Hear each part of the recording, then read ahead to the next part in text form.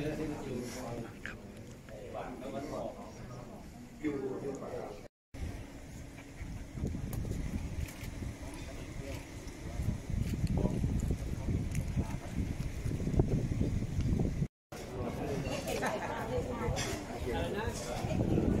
ี่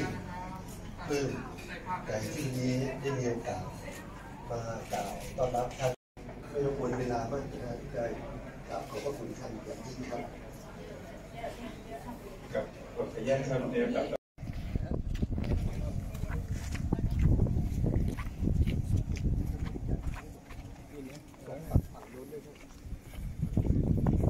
ได้เลยครับแต่ส่วนใหญ่เราจะไปไอ้วูดมาเลยโอ้วูดวูดมาเลยที่ไปเป็นเล็กๆเล็กแค่สัญญาแรก